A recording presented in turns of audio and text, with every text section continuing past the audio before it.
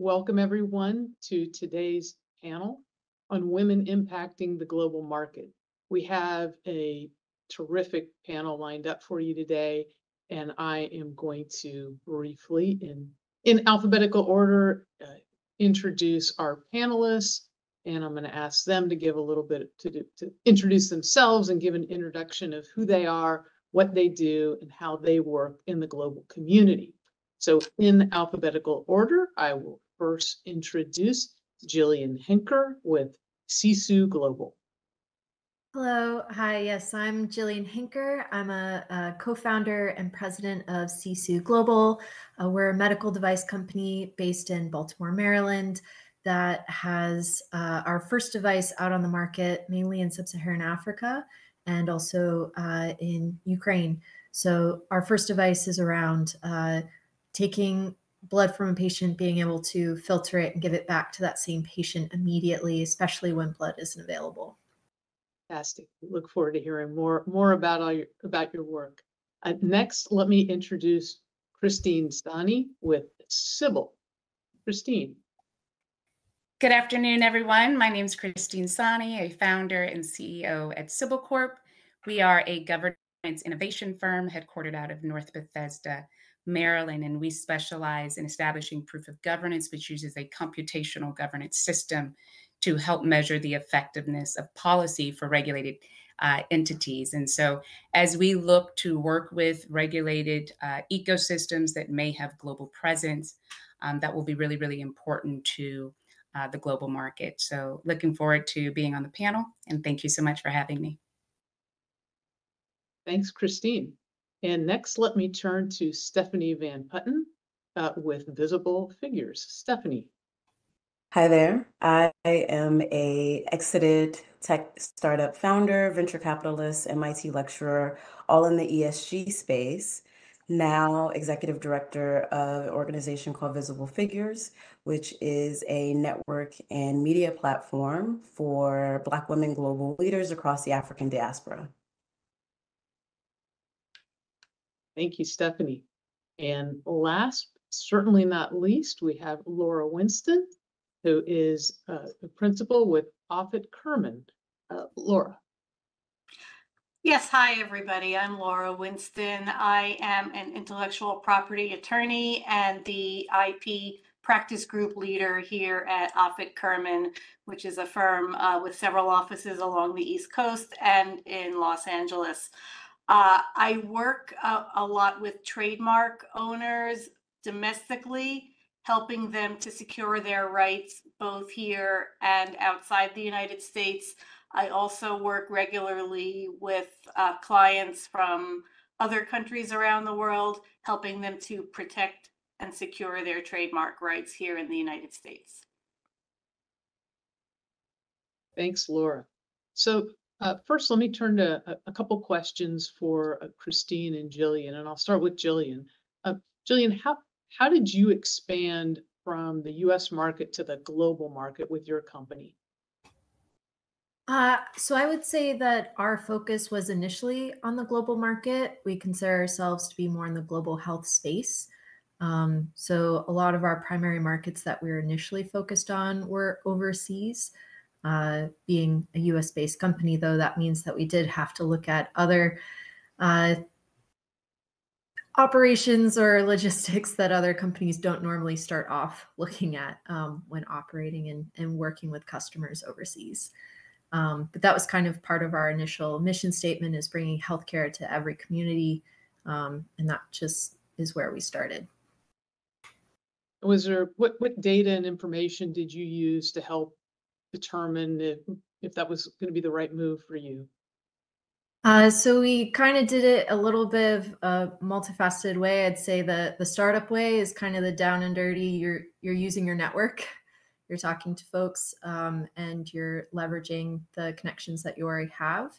So for us, we were able to have a connection with hospitals already in East and West Africa, and uh, we're also looking though at some of the just data analytics around like ease of doing business in different countries, as well as looking at the regulatory environments, which actually counterintuitively we were looking for more regulated environments and also places where we could get connections to professionals who are working as a medical device. Regulatory is super important to us, as well as having uh, those feedback systems and uh, a mixture of public private systems that we could work with. Um, usually, some markets are dominated more by private or by public.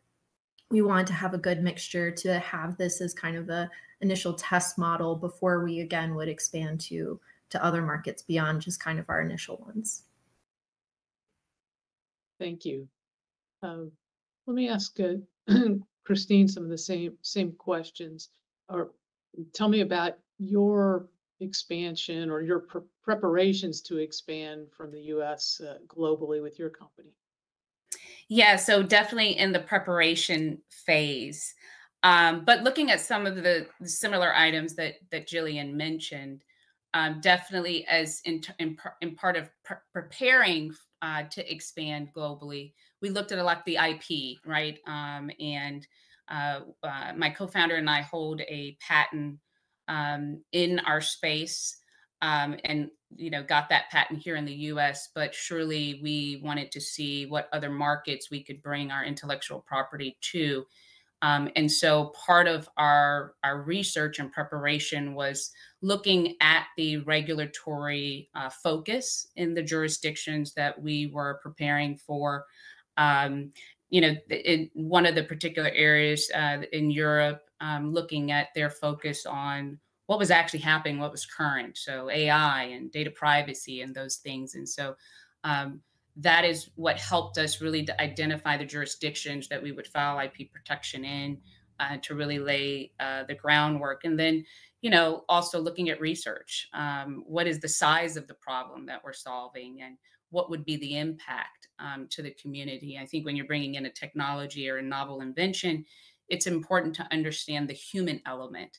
Um, so the World Economic Forum has um, incredible research um, around uh, digital transformation, the digital trail. Um, and so we considered a lot of those um, uh, items as we were looking to plan our expansion. Thank you. And we like hearing that you have a have a U.S. patent. Yes. Thank you. Oh, uh, and, and Christine, what did uh, or Jillian, what, what did you do to have to prepare for doing business globally, and where did you find the resources to assist you? Uh, so again, a lot of it comes through networks and, and people that have the scars of doing business in different places that we can definitely learn from. Uh, and that would be kind of from folks who, uh, you know, we get through uh, either university connections or other places locally here in Baltimore, uh, where again, I guess people have heard about the port now nowadays, but a lot there is actually a lot of exports that come out of this region. A lot of people doing international business.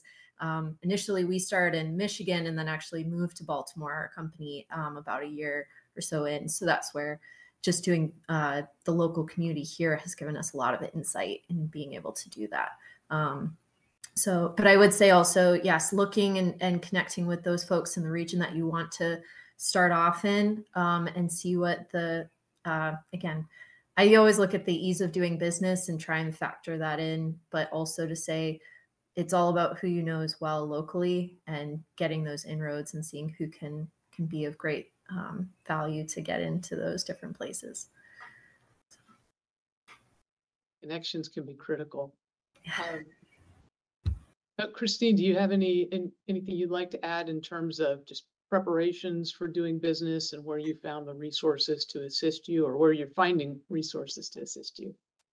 Well, I think on um, so a couple things. Resources on the legal side, it's important to have guidance and expertise um, in these areas to understand um, the uh, patent and IP laws in the jurisdictions that you plan to enter, um, and to go through that process because it is very uh, complex and making sure that you're responding in a timely fashion. So that's one thing. But I, I also want to echo what Jillian said: is having people there that understand um, the culture and understand the need and the problem that you're solving is absolutely critical.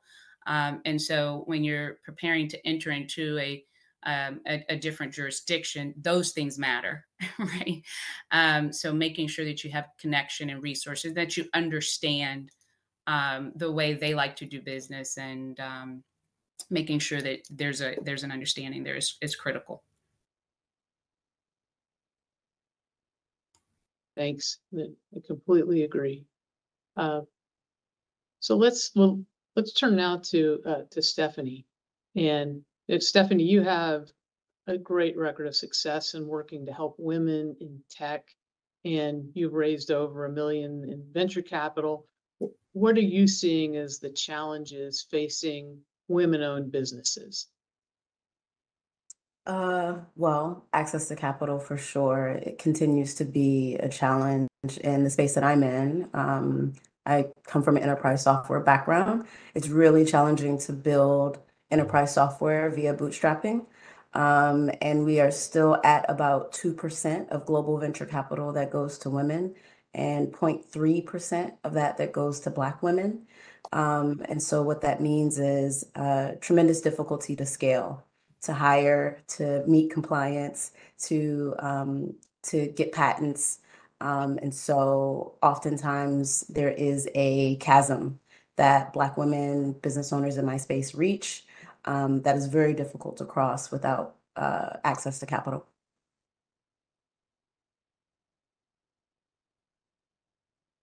And, and, it, it's so impressive with what you've done, given, especially given the, the numbers that you're, that you're reciting and that women and, and um, underrepresented communities are facing. Uh, what do you see as the most common challenge you see as a woman-owned business uh, struggling with? Yeah, particularly with the demographic of women that I serve, again, uh, venture-backed um, women business owners. Um, the most common challenge I've observed is hiring senior, hiring and retaining retaining senior executive talent. Um, it's one of the things that I haven't really seen a lot of research on to date, but just anecdotally, um, I do believe that there is bias at play in terms of how effective uh, Black women, C- uh, women CEOs are at attracting the talent um, necessary to uh, achieve some of the loftier goals um, in the spaces that I'm in. And so there's a lot, I think there's still a lot of re-education that needs to take place um, in terms of what a woman business leader looks like um, and and how we can mitigate a lot of the bias involved in um, in following and in supporting women leaders.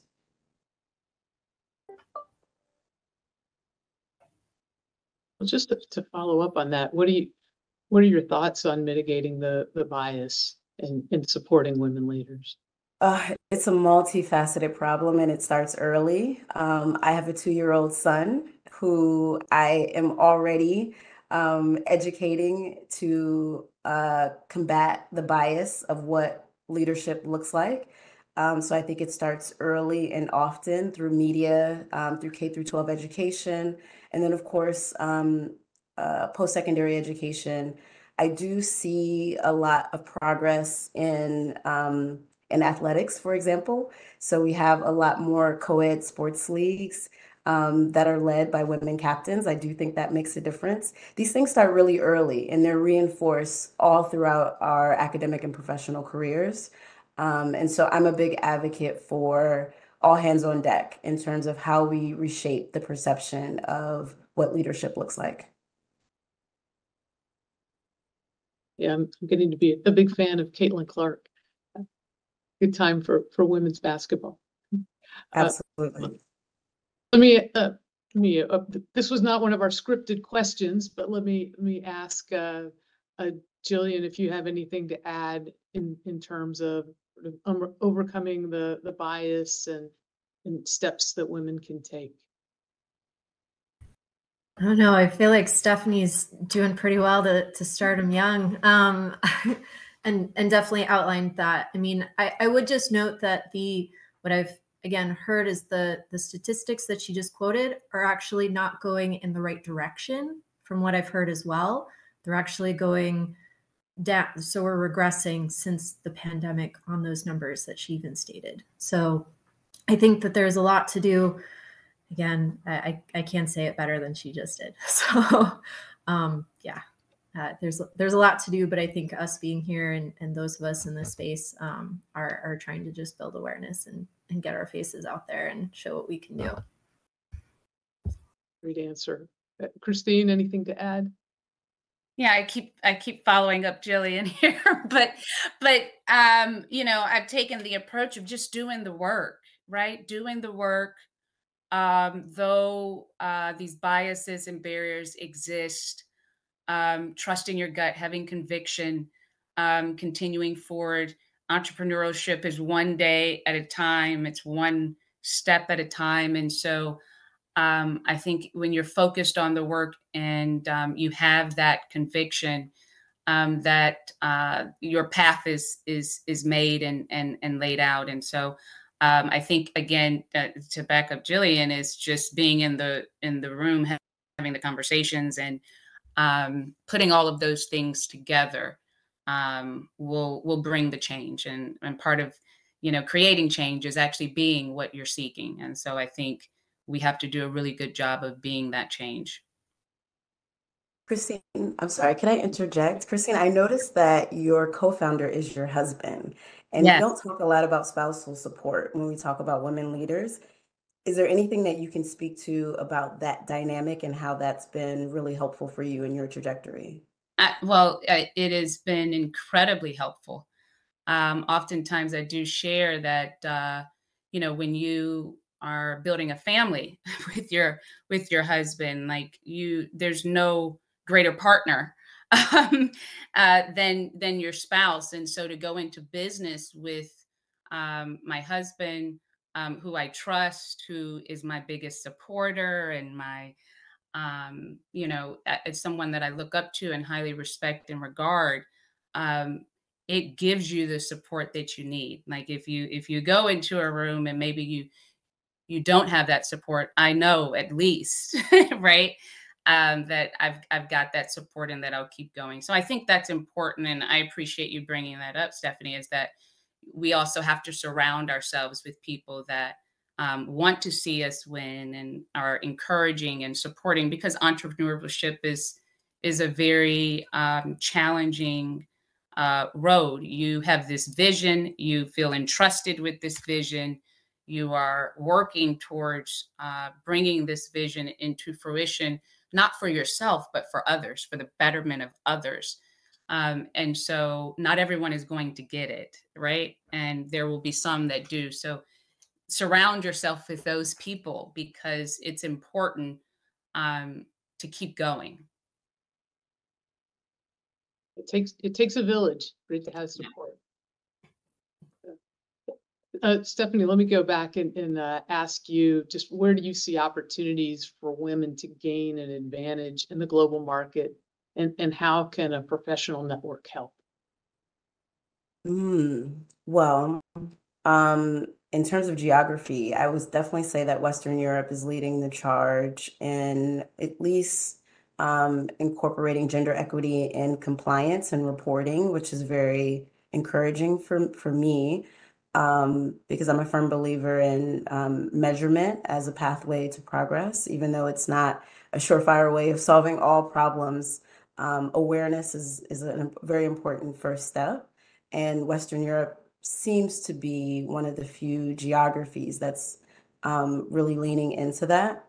Um, I also really see an opportunity in ESG. Obviously, I'm biased. Um, I joined the board of Woods Hole Oceanographic Institution. I'm all things climate change. I teach a course at MIT um, focused on how to measure and report on scope one, two, three emissions. And I've noticed a lot more women entering in the space and taking leadership roles. Um, and even though there are a lot of political challenges at present, I do think in the next 50 to 100 years when um, more and more evidence um, reveals itself about the situation that we're in, the fact that women are leading the charge in this space is going to be a competitive advantage. Thanks. Uh, let me follow up with one more question. Uh, so how do you promote a positive state of mental health with all the work you're doing? And how does your network support you? Oh, I am I'm very intentional about mental health and wellness. Um, it's something that I have incorporated into the work that I do with visible figures. Um, starting off with removing the stigma and taboos around psychotherapy and talk therapy, um, to really encouraging um, just healthy ways to cope, whether that's uh, weekly massages, acupuncture, hikes, um, because I know that in the spaces that we're in, um, imposter syndrome, tall poppy syndrome, you name it, it can really wear on you over time. And um, there's a book I read recently, The Body Keeps the Score, which talks mm-hmm. about how um, without a release and a healing of this constant trauma um, that we're experiencing from microaggressions to pay inequity, it builds up in your system. Um, and so I am very bullish and a, a large evangelist of prioritizing um, outlets and ways to uh, mitigate a lot of the trauma that you're experiencing day to day without even being conscious of it. Great, great advice. Um, Laura, I am going to get to you in a second, um, but let, let me let me ask our other other panelists if you want to add in anything on how you promote a, a positive state of, of mental health and and how your network supports you. Yeah, so I can kind of speak to that. You said hike, and that's my sort of my love language. um, a lot of uh, Sybil uh, and and our offering was ideated um, on the hiking trail, um, and so I do believe, as a founder, as an entrepreneur, as someone that is looking to bring change to the world, you have to be out in it, understand it, touching it, and be connected. Um, and um, mental health is is extremely important um, because you're going to be in very complex and demanding uh, environments, and you have to be able to make the right decision and, and remain in your north star, right? Um, and so all vectors have to sort of be pointing in the same direction. So. Um, you, you also have to re- have a relationship with yourself um, and self care and self love and um, so you you form discipline around building your company and expanding your company, but surely we must have discipline around how we treat ourselves as well. So um, getting out in nature is incredibly um, impactful. Um, you know, going to the gym, home gym, or just going out for a walk, incredibly impactful because if we're not whole and well, we can't show up whole and well. So it's prioritizing um, yourself as well, um, and and being able to understand that it's the whole thing. Uh, it's it's mind, body, spirit, soul, all of it connected. Julian, anything to add? I, I agree. I even have a, a mentor who asked me, Did you go on your run today? Because he knows that my mind will be different pre run and post run. Um, so I, I love going out for just, again, just a run just in the city here and um, it, it, can change your whole day. And I think yeah. for all entrepreneurs, especially, your day can be a roller coaster where you can start off terrible. You get this one email and you're like, man, and then literally within the same day, get a great email, and then you're on top of the top of the mountain. So I think that's where it's yeah, just kind of trying to make sure you take care of yourself and all those hills and valleys. And I wrote down the book title that Stephanie just said because yeah, it's it's just hard for people to also know what you're going through because um, it's also pretty specialized to that situation for every company, for every founder. So just know that yeah, you have to take care of yourself because only you know kind of what you're going through, even if other people have been there before. So, but again, it, it always helps to have folks, yeah, that are supporting you and and kind of can still help you through that. So to again echo what was earlier said. So. Thanks. Laura, you you, would you like to weigh in on the, the on the mental health and wellness uh, question as well? Well, I wrote down the book title too, and I also I need a mentor like the one that Jillian has, who's going to um, make sure that I do that exercise. Uh, I, I, definitely see a difference on those days when I take that time um, to exercise versus, um, you know, when I'm just sedentary at my desk. And um, I during during the pandemic, I discovered I needed to adjust my thinking about cold weather um, and make sure that I I live in New York City and it's it's quite cold here in the winters sometimes. And um, I was always somebody who would say, "Oh, I can't go out in the winter. I'll just exercise indoors." If I was doing that, um, during the pandemic, I realized that I would just never leave the house and get any fresh air if I didn't get out um, for walks, no matter what the weather, and really just sort of reframed my thinking. And I'm glad to say it's carried over, and uh, I'm no longer intimidated by that, you know, 25 or 30 degree day. I'll I'll get out, you know, just because that air really helps to clear my mind. Good advice for everyone. So, well, Laura, let's let's uh, change gears a little bit. So taking a, a company global means preparing for protections. And as an, an IP attorney, can you talk about what a company needs to do to protect their IP and their business when going global?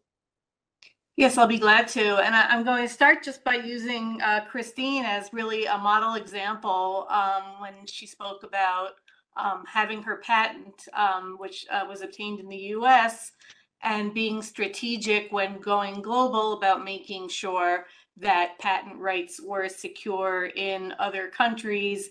Um, there are um, there's a treaty called the Patent Cooperation Treaty or the PCT that um, many countries have with each other that makes it um, easy to extend patent rights from one country to another. Um, so that's something that if you have an invention or new technology you'll want to explore. Um, on the the trademark side of things, um, it's if you have a brand and you want to take that brand uh, into other countries, it's it's very important to take proactive steps. Um, uh, in many countries, there is a principle called the first to file principle, where if you don't file an application to register your trademark and somebody beats you to it, um, they're going to have rights ahead of yours, even if you start using the trademark um, um, bef- uh, before they're actually using it. And um, some people will worry that this could be an expensive uh, proposition to protect your trademark in various places.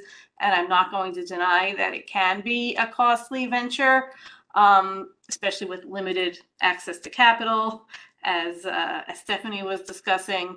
But uh, there are ways to be strategic about it. Um, with with products, it's a good idea to figure out the countries in which you plan to do business, and also consider countries in which your products could be counterfeited and seek trademark protection in those places.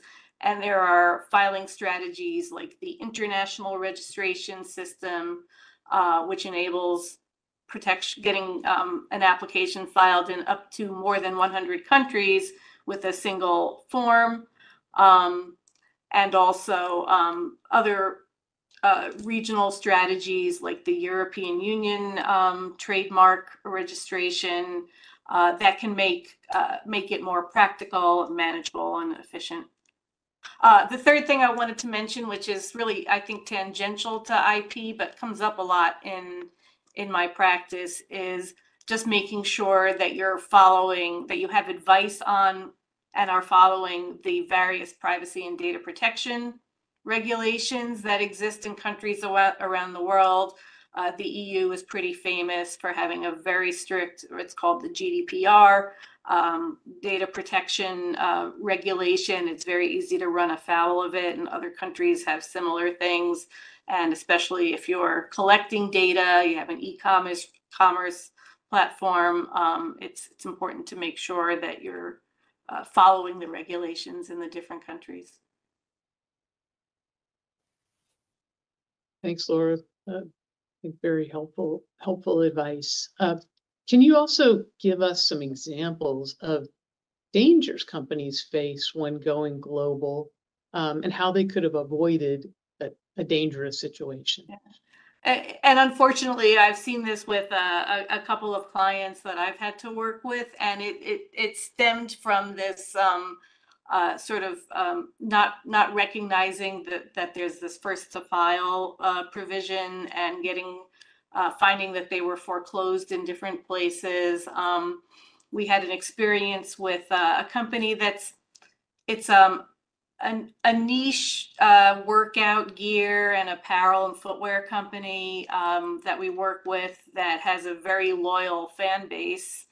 And uh, when they wanted to expand their, and, and they do sell overseas. And uh, when we sought trademark registration in China, which is a very common country for piracy, they discovered that someone had already registered their trademark.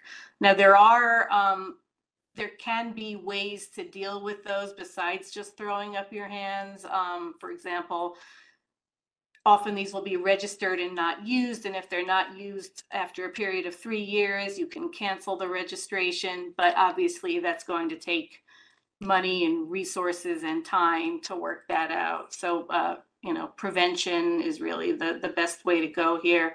Uh, we had another situation um, where we have a client who is in the cosmetic services and products field, and uh, they were very successful. They started in Southern California. They were very successful in sp- expanding to the East Coast and uh, in between.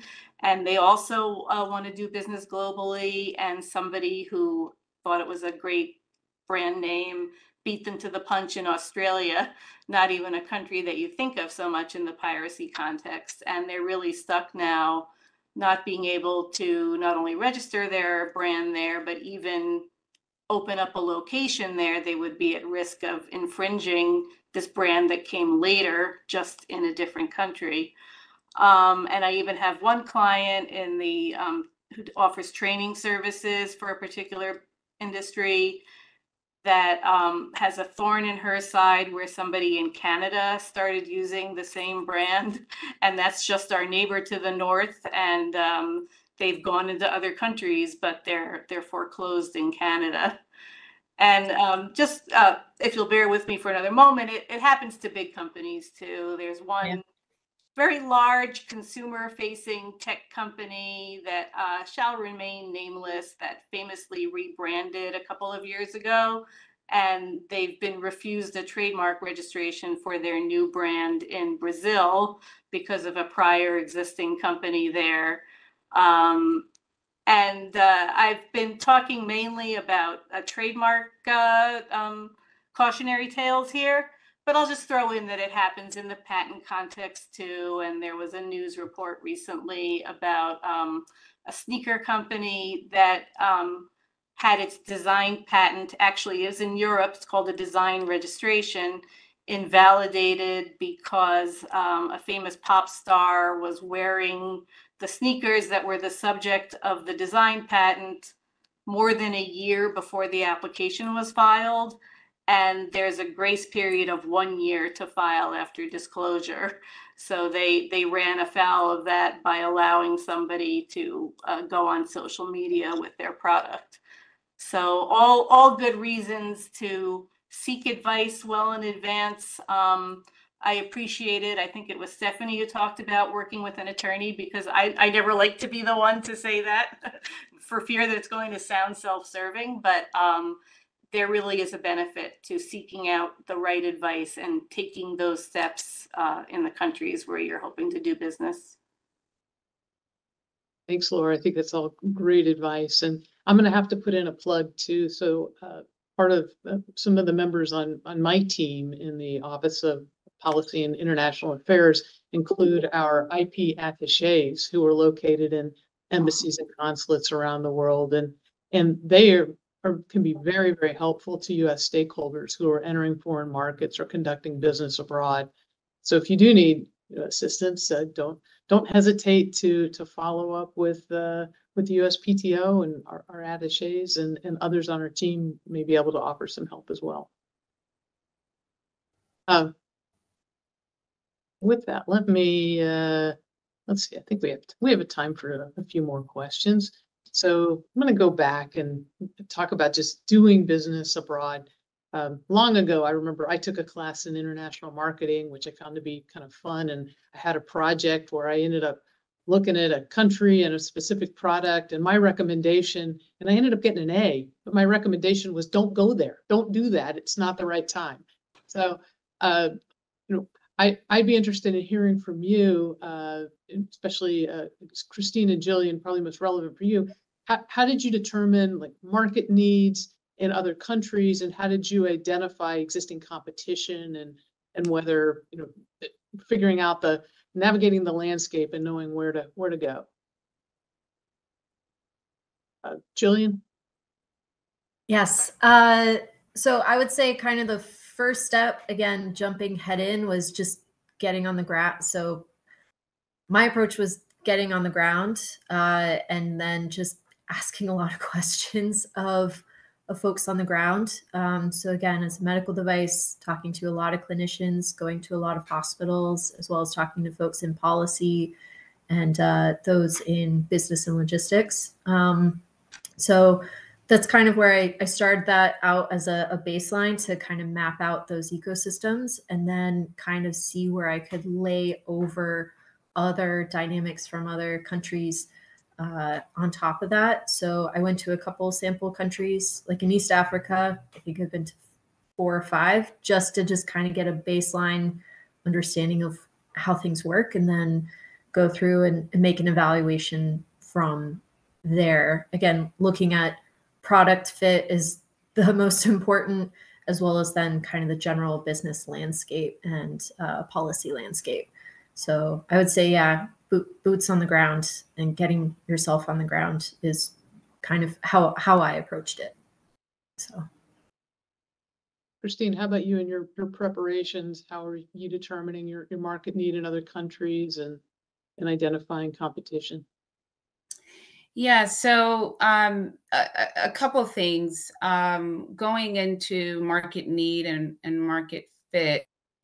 Um, we specialize in in governance, and so um, anywhere where there's regulation and um, policy, that immediately says, okay, this problem will be existing in this market, and so um, it was easier to identify market fit just surely by the um, the the area and the problem and the size of the problem um, we are are solving.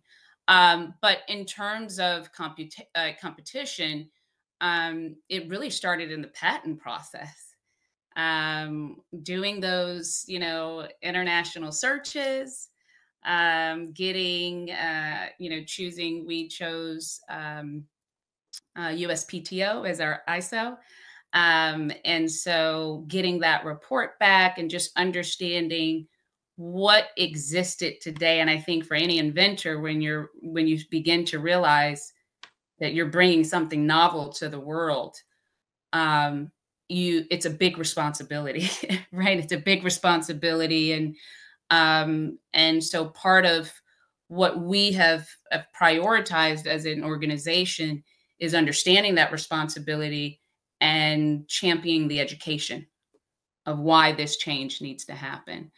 Um, so uh, we we have focused our our work in understanding what exists today, um, and what we have found is that our solution expands an existing um, ecosystem of solutions, auditors, and you know what we call first layer governance solutions, where maybe there's attestation and risk assessment.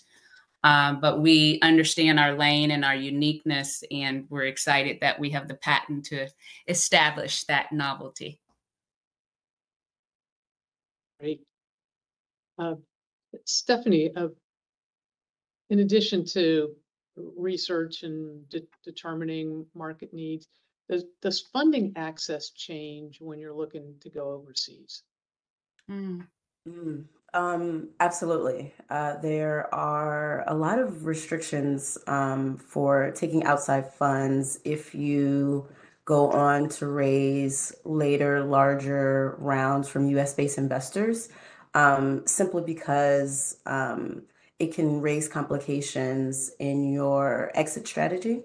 Um, so some US based investors kind of frown upon um, having foreign investors on your cap table. but there are some creative ways that you can um, get capital through debt um, or other alternative equity arrangements that I do know some entrepreneurs uh, have leveraged, but it does add some complexity that um, I know a lot of US based early stage startups just simply avoid. Thanks. So we're, we're coming to the end of our program, but I want to have each of you give a, a takeaway. Uh, I'll start with with Laura. What's the best advice or lesson you would share for anyone choosing to take their product global? As I, as I said um, earlier, it would really just be to make sure that you've secured your rights in the brand uh, in those countries uh, where you're planning to do business and to the extent your budget will allow in countries where you're at risk of counterfeiting and piracy as well. Um, that was primarily trademark related, but I'll also mention again that if you have an invention or new technology and uh, that to to seek patent protection and make sure that you are trying to get that patent protection extended um, internationally as well.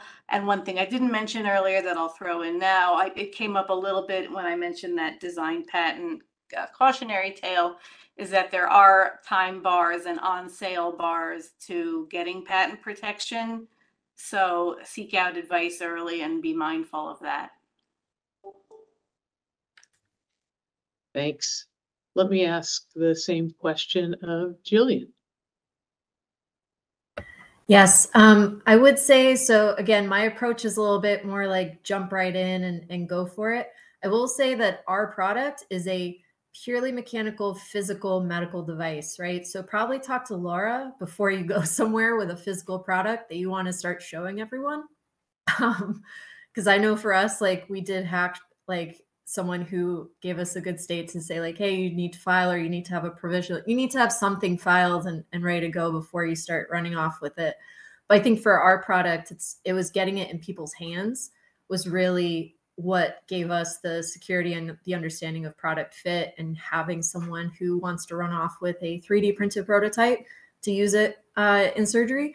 So i would say yeah I, I still think it's really important to get on the ground and really meet with people and gain those connections because for us network has been the most important uh, or i would say one of the most important levers we've had throughout this whole um, startup journey. But i would say yeah talk talk to some good mentors and people that have been there before you start running off uh, with a prototype showing it to everyone. So. Excellent advice. Uh, christine yeah, so maybe a combination here of Laura and, and, and Jillian is that um, definitely it all starts with your IP protection, right? And just understanding you are going into a new space and there's a um, there are laws that you will have to abide by.